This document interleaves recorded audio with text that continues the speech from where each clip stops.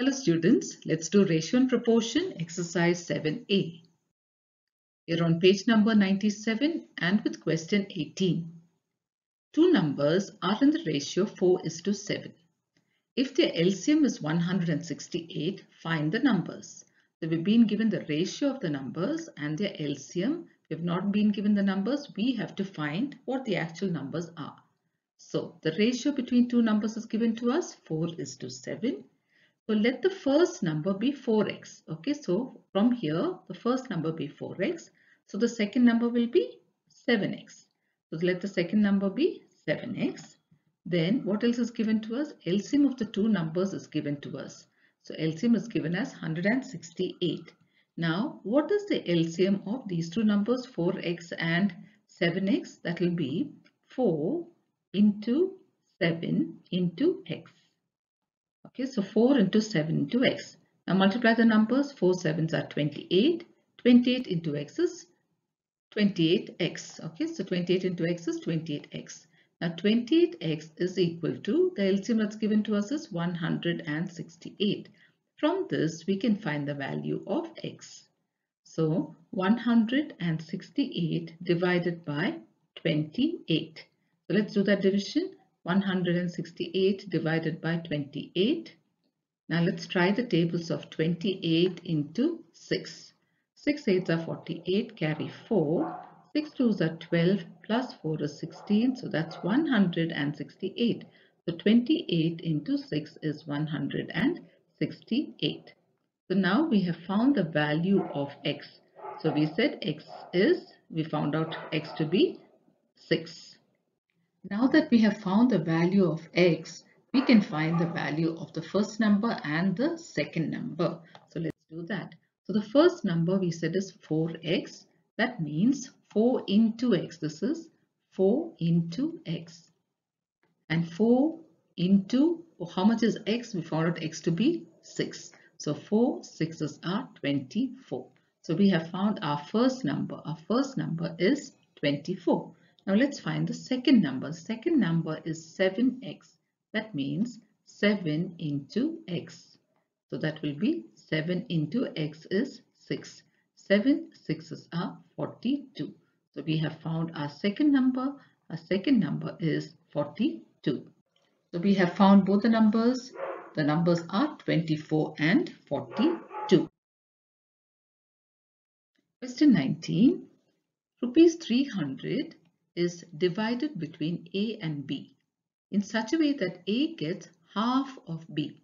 So now we have to find two questions here. First one, the ratio between the shares of A and B and the second one is the actual share of A and B. How much did A get and how much did B get? So first one is the ratio between the shares. So first let's find this. Let's see what is given to us. Amount divided between A and B is 300 rupees is already given to us. Then let the share of B be X. Now why did we put B first? Because here it says we don't know how much A is. It's half of B. So B has to be X only then we'll know how much A is. Is it? So let the share of B be X. That means the share of A will be half of B. Isn't it? That means 1 by 2 of means into and B is X. 1 by 2 into X. So now we can multiply 1 into x is x and x by 2. So this is the share of A. Now we have to find the ratio between the shares of A and B. That means we have to say A is to B. Now here A is x by 2. Isn't it? We found out A to be x by 2 is 2 and B is x. So now we're going to do this, work this out. x by 2, remember Ratios division also divided by x by 1. So this will be x by 2 into division changes to multiplication and we write the reciprocal 1 by x. Now we can cancel, I can cancel the x. So what is left is 1 by 2. 1 by 2 is a fraction. That means the ratio here is 1 is to 2. So we found the fraction and we got the ratio now between the shares of A and B. And what is the ratio between the shares of A and B? 1 is to 2. Now we have to find the second part of the question. So let's do that. So now the second part is we have to find the share of A and the share of B. So first thing we do is find the sum of the ratios and in the previous part we found out the ratio is 1 is to 2. So this is the ratio between A and B. Now to find the sum of the ratios we need to add up that 1 plus 2 is 3.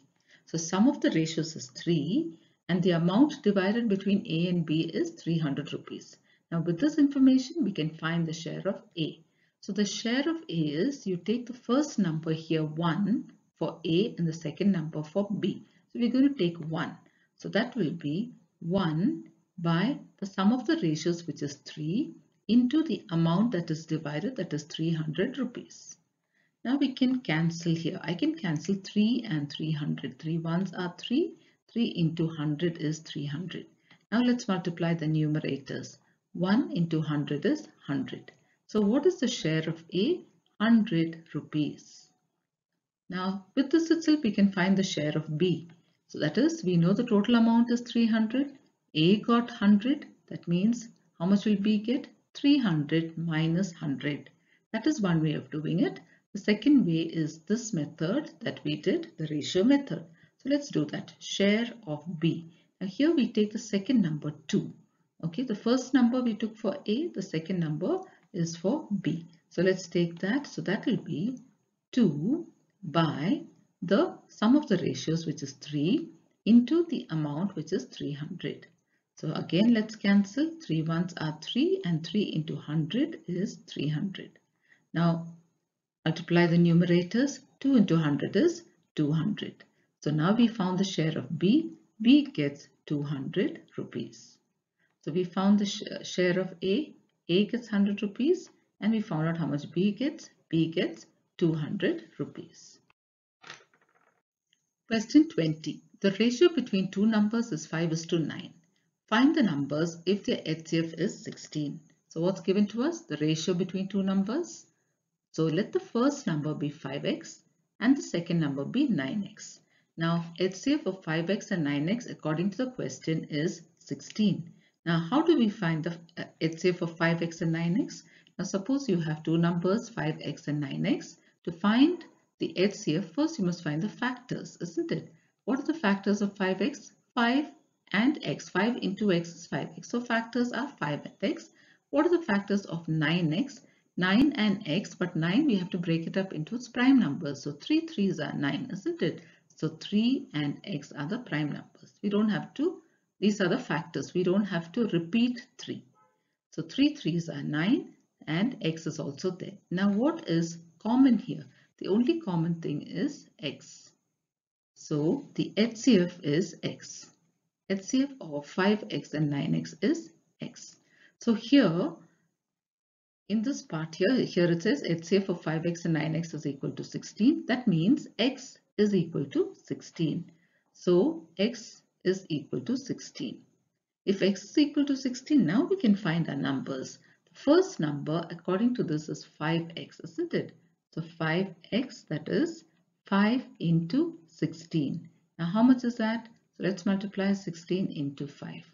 5 6 are 30, carry 3, 5 ones are 5, 6, 7, 8. So the first number is 80. Now the second number is 9x. According to this, it's 9x. So 9x means 9 into x, that is 9 into 16. So let's multiply 16 into 9. 9 6 are 54, carry 5, 9 ones are 9 plus 5 is 14, 144. So the second number is 144. So what's our first number? First number is 80 and the second number is 144. Question 21. A bag contains 1600 rupees in the form of 10 rupee and 20 rupee notes. If the ratio between the numbers of 10 rupee and 20 rupee notes is 2 is to 3, find the total number of notes in all. Okay, so we have an amount that is 1600 rupees. Now in that, that is made up of 10 rupee notes and 20 rupee notes. And we've been given the ratio of 10, uh, the 10 rupee notes and the 20 rupee notes as 2 is to 3. Now we have to find the total number of notes in all. So let's begin. Amount in the bag is given to us already. It's 1600 rupees, 1600 rupees. Then the ratio between the number of 10 rupee notes and 20 rupee notes is also given to us is 2 is to 3. Now let the number of 10 rupee notes be 2x. Okay, the first digit, uh, digit here is for the 10 rupee notes, so 2x. Let that be 2x. That means 20 rupee notes will be 3x. Okay, now the value of one 10 rupee note. If you have one 10 rupee note, what is the value? It's 10 rupees isn't it? If you have 1, it's 10 rupees. Now, if you have 2x, here we are saying 2x, let the number of 10 rupee notes be 2x. If we have 2x 10 rupee notes, then what is the value? 2x 10 rupee notes, that will be rupees 10 into 2x, isn't it? Now let me say that again. The value of one 10 rupee note. If you have only one 10 rupee note, what is the value? 10 rupees. Suppose you have 2x 10 rupee notes, what's the value? 10 into 2x. So how much will that be? 10 into 2 is 20 and x. So that will be rupees 20x. So we've got the value of the 10 rupee notes. Now similarly, what is the value of one 20 rupee note? If you have only one 20 rupee note, what is its value? 20 rupees. So if you have 3x 20 rupee notes, what will that be? That will be 20 rupees into 3x.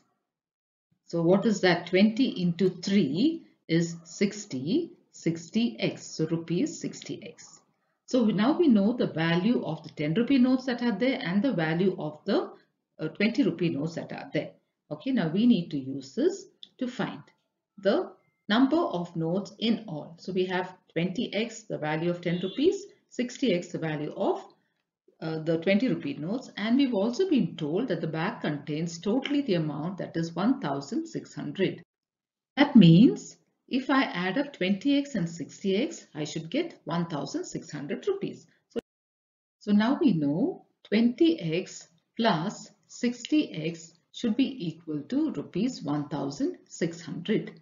So now let's add this up. 20 plus 60 is 80 80x is equal to 1600. Now we can find the value of x. On the right hand side we write 1600 as it is. Now we're going to transpose this 80 which is on the left hand side and it is multiplication. We're going to take it to the right hand side. So that will become division divided by 80.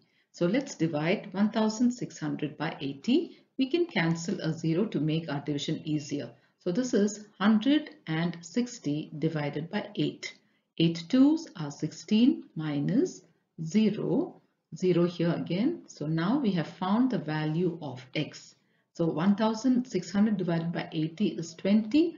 That means the value of x is 20. Now we can find out how many 10 rupee and 20 rupee notes are there. So the number of 10 rupee notes we have written as 2x. That means 2 into x and 2 into what is the value of x? We just found out x to be 20. 2 into 20 which is 40. So how many 10 rupee notes do we have? We have 40 10 rupee notes. Then we're going to find out how many 20 rupee notes are there. That is 3x, that is 3 into x, which is 3 into x is 20. We're going to substitute so 3 into 20, 3 twos are 6, add the 0. So the number of 20 rupee notes is 60. So we have 40 10 rupee notes and 60 20 rupee notes. Now the question is how many notes do we have in all? That means the total number of notes. So all we have to do is add up the number of 10 rupee notes and the number of six, uh, 20 rupee notes. So together we get 40 plus 60 which is 100. So we've answered a question. The total number of notes that are there is 100. Question 22. The ratio between the prices of a scooter and a refrigerator is 4 is to 1. If the scooter costs 45,000 rupees more than the refrigerator, find the price of the refrigerator. Okay, so let's go slowly with this one. Ratio between the prices of a scooter and a refrigerator is given to us. So first is scooter and second is refrigerator. The order is the same here also. So let the cost of the scooter be 4x. Because scooter comes first, we'll take the first number 4x. That means the cost of the refrigerator will be 1x. Okay, so we've, uh, we've uh, taken the cost of scooter to be 4x and the refrigerator to be 1x. Then the cost of the scooter is greater than the cost of the refrigerator. How do we know that? It's given in the question. If the cost, if the scooter costs 45,000 rupees more, that means the cost of the scooter is more than the cost of a refrigerator. By how much? By 45,000. That means the difference between a scooter and the refrigerator's cost will be 45,000 rupees. So let's write that. So that means 4x is the cost of the scooter, isn't it? Here we said 4x. And if we find the difference between that and the cost of the refrigerator, that is 1x, that will be equal to 45,000 rupees. So 4x minus 1x is 45,000 rupees. So now let's calculate the value of x. 4x minus 1x. 4 minus 1 is 3. So 3x is equal to 45,000 so now we're going to find the value of x. So 3x means 3 into x. So we're going to remove x from here. And on the other side, we have 45,000 as it is. Now we're going to take 3 to the right hand side, so it becomes division. So 45,000 divided by 3. So we can divide this. So let's do that division. 45,000 divided by 3. 3 ones are 3 minus 1 5, 15. 3 fives are 15 minus, we have 0 here. Then we can carry these zeros up. 1, 2, 3. So we've got 15,000. That means the value of x is 15,000. So that is rupees 15,000. So now we have to find the price of the refrigerator. So Cost of the refrigerator we said is 1x, isn't it? So 1x means 1 into x, 1 into x and we found out x to be 15,000 rupees. So 1 into 15,000 rupees. So 1 into 15,000 is 15,000 itself. So the cost of the refrigerator is 15,000 rupees. So this is our answer. We've been asked to find only the cost of the refrigerator. So final answer is 15,000 rupees. So with this children, we come to the end of this exercise. Thank you children.